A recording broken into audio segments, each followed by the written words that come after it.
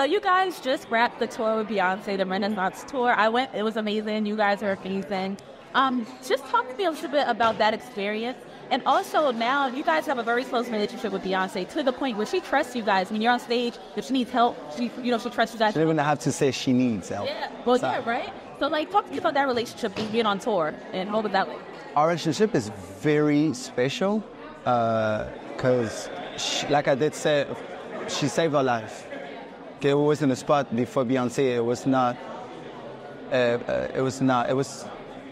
I will. I mean, I can't really say because I, I don't feel ashamed to say it. It's just. Um, it's very deep, and she appeared like an angel, and we thanks her in the way we danced for her and only for her. It would be like this. It's just. It's like, just this is like, it's like, you see when you have a certain gift and you, you know you have it, but it never be, I never serve the right people and be in, in the right spot and feel like people doesn't see what I'm seeing or what I'm about for real.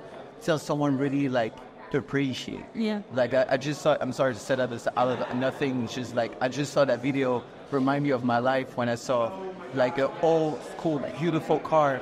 Uh, grandfather gave to his son, and he left it in the garage for so long. that it was so, so much dust and things like. Yeah, he went everywhere. and Nobody wanted that car. So one day, a museum saw that car and said, "Oh my God, it cost two billion point eight.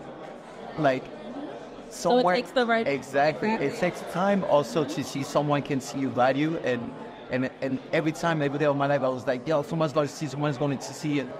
and we was right there. I mean, like right there. she's seen us.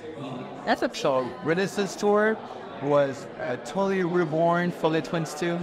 Not just for her, not just for the project, not just for the messages behind everything. Where just everything makes sense.